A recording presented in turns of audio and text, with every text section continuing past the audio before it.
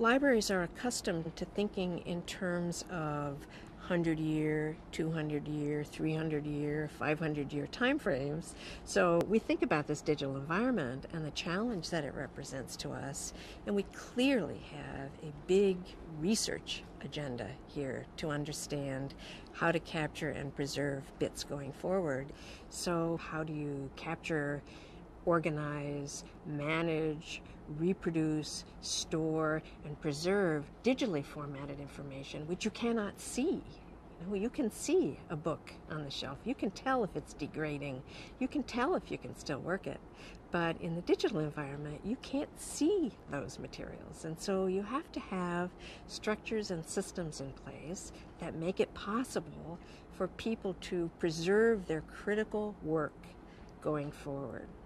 So I think Hewlett Packard imagined that if they could work with us to build a prototype that would be a very interesting experiment. We launched DSpace in November of 2002 at a very popular launch event around the topic of scholarly communication. The response to it and the uptake of it has been phenomenal. But there are two areas that we really need to focus in on.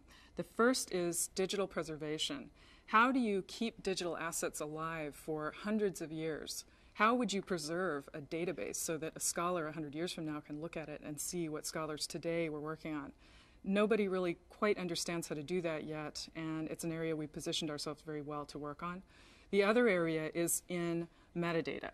Metadata is information about data. It's the kind of information that you need to discover digital assets, to manage them and preserve them over time. So an example of this from the current world might be a library card catalog, which you would use to find things in the library, or uh, probably more familiar to a lot of techies would be Amazon, where you're looking up books using information about those books. Working with HP Labs on this project has been wonderful.